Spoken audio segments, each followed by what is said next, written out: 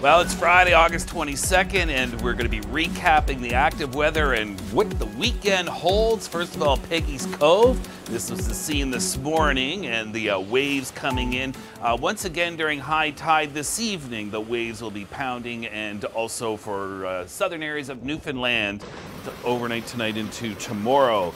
Brooks, Alberta, we go back a couple of days here, and you can see that was the hail and the torrential, uh, the hail and the very powerful winds that uh, knocked out power. And then in Winnipeg earlier this week, thank you, Matt, for sharing this. And look at that frequent lightning.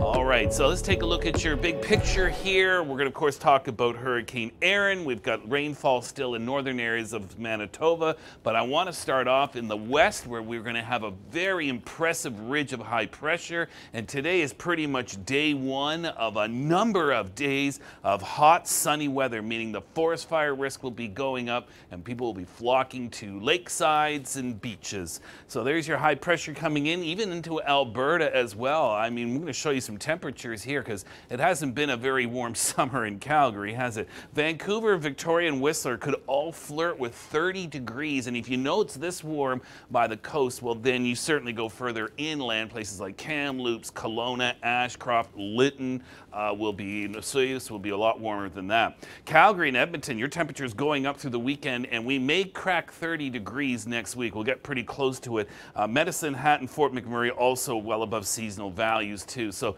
good thing we've been getting some rain because the, the, the, the floor is going to dry up and heat like that. This is what's remaining of the northern uh, Manitoba uh, rainfall warning, Lynn Lake to Thompson and eastward, so just south of Tadoule Lake and north of Norway House.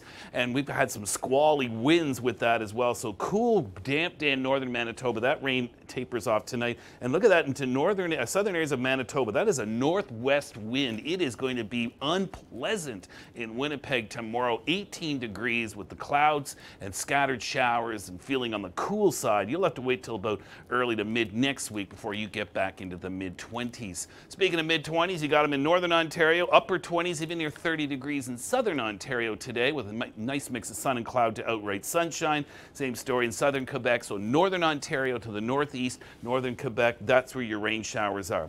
Thunderstorms likely booming this evening and overnight east of Lake Superior where their cold front, so northeastern Ontario remains unsettled.